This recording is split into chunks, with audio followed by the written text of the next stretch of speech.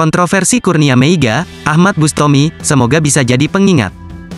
Ahmad Bustomi memberikan responsnya terkait kontroversi yang dialami mantan rekan setimnya di Arema, Kurnia Meiga. Bustomi berharap kejadian yang menimpa Kurnia Meiga bisa menjadi pembelajaran bagi pesepak bola muda di Indonesia.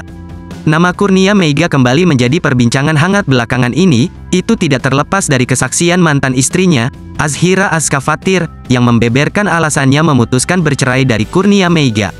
Azhira Aska melakukan klarifikasi dalam sebuah podcast yang dipandu Denny Sumargo. Di kesempatan itu, Azhira Aska menyebut bahwa dia memutuskan berpisah gara-gara kelakukan buruk mantan suaminya tersebut.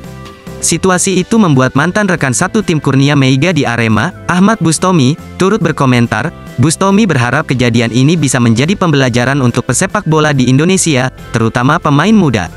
Dengan ramainya berita tentang teman sepak bola saya, semoga bisa menjadi pengingat bagi semua, termasuk untuk saya, terutama adik-adik junior yang baru saja merintis jadi pesepak bola, tulis Bustomi dalam akun X-nya.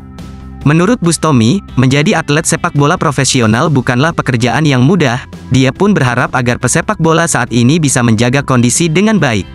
Sebab, kata Bustomi, karir pesepak bola tergolong sangat cepat. Sesungguhnya jadi pesepak bola itu tidak mudah dan masanya cepat sekali.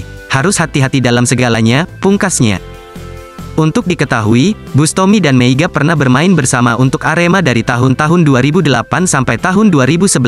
Kontribusi mereka sempat mengantarkan tim meraih gelar Indonesia Super League 2009, 2010. Tidak hanya itu, keduanya juga pernah tampil bersama di level tim nasional.